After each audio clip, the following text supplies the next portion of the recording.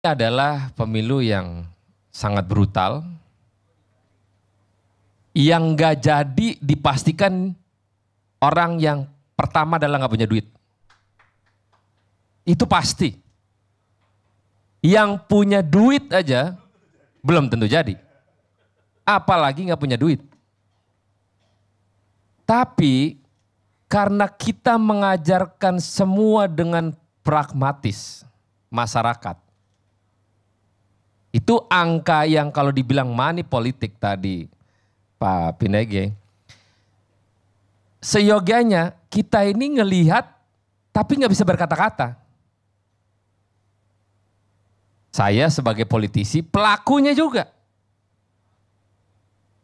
Jangan dibilang oh saya anti money politik, bohong, bohong. Hati-hati mas. Pasti ada bawaslu ini pengakuan. Kenapa? Kalau tanpa adanya duit, emang masyarakat kita idealismenya tinggi. No way. Mau sepinter apa kita? Emang dia tahu kepintaran kita di DPR? Gak tahu dia. Maaf, Ap, ini ini. Ya itu tadi saya bilang ya. bahwa orang nggak punya duit, udah pasti nggak jadi. Yang punya duit aja belum tentu jadi. Nah, ini adalah karakter daripada orang menganggap itu duit segalanya. Tidak. Tapi bagaimana para caleg ini menggunakan caranya.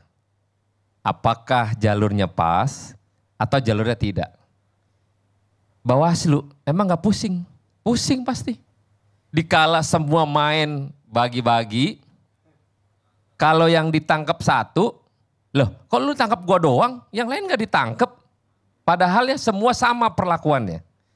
Tapi kita ini hanya bisa melihat, gak bisa menangkap. Tapi ada opsi lain, ada yang di TO, tapi setelah posisinya, eh, lu jangan TO gua dong, di sana juga main kok, misalnya gitu. Siapa yang salah? PSI-nya? Enggak salah PSI-nya. Tapi ada oknum yang melakukan itu, yang kalau Bang Dedi bilang, emang PSI bisa apa orang cumannya lagi dugem-dugem doang kok. Nggak bisa sampai tenaganya ke situ gitu. Memang PSI-nya nggak salah, tapi ada oknum pejabat besar yang main dalam rangkaian permainan itu yang akhirnya merugikan banyak pihak. Siapa oknum? Iya kan oknum. Kan tidak bilang dugaan. Ya kan Tadi kan oknum. kan bilang oknum. Ya harusnya Ya kan kalau namanya oknum siapa aja. Nah kan dugaan oknum, oknum itu kan pasti manusia. Oknum itu penyelenggara pemilu. Enggak, nah, enggak bisa juga. penyelenggara pemilu. Belum tentu. Belum tentu, belum tentu. Yang pasti oknum itu manusia, itu aja. Kan sesuai dengan undang-undang penyelenggara pemilu bukan di bawah pemerintah.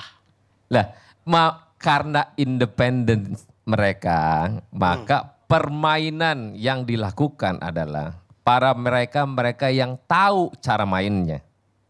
Kita sebagai politisi tahunya cuma pusaran di pilek aja. Oh, ya udah ya, cobalah di TPS itu siapa nih 300 misalnya yang tadi uh, Om Miftah bilang, oh ya 300 kan nggak mungkin semua masuk 300.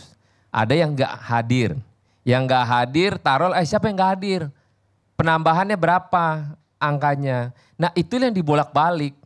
Kalau akhirnya itu yang dipermainkan dalam posisi secara nasional, maka pasti kenaikannya signifikan. Empat hari gua komentarin, gua kencengin, turun dia. Lagi mana tuh? Dari tiga tiga tiga tiga belas jadi tiga dua belas.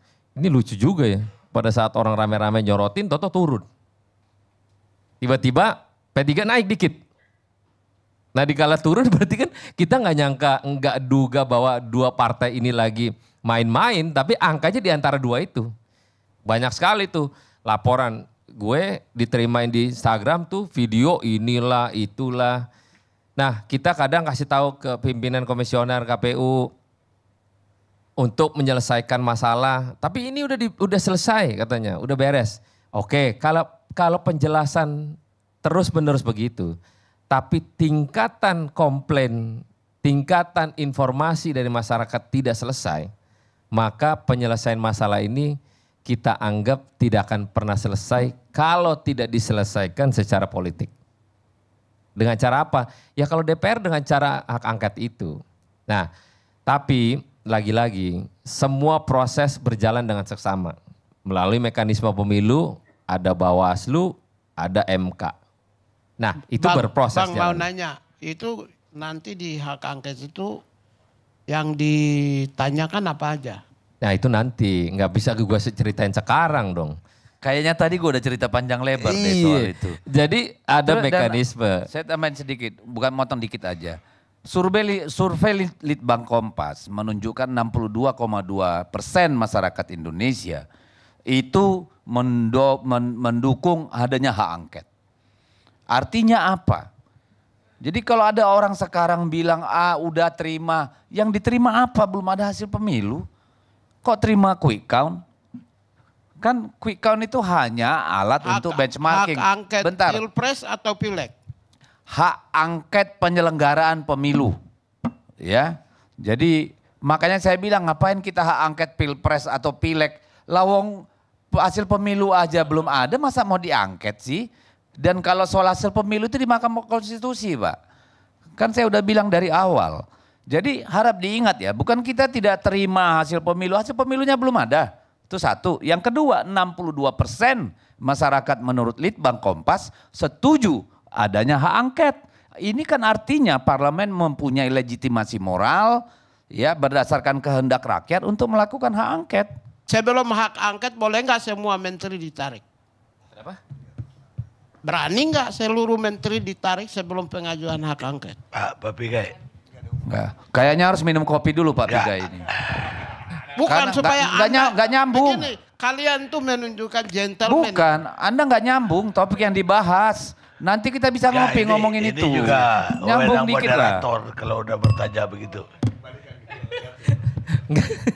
Nggak benar, kayaknya perlu minum kopi nih. Jadi terkait dengan hak angket yang dimiliki eh, anggota DPR, terkait dengan parliamentary threshold, itu kan jauh antara ke Papua sama Aceh. Jadi jangan salah dulu, tak dulu.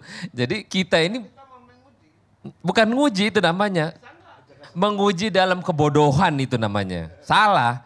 Bang Pigai, kita berdua ini anggota DPR yang existing masih hari ini masih anggota DPR. Jadi jangan ngajarin kita, ntar salah lagi lagi.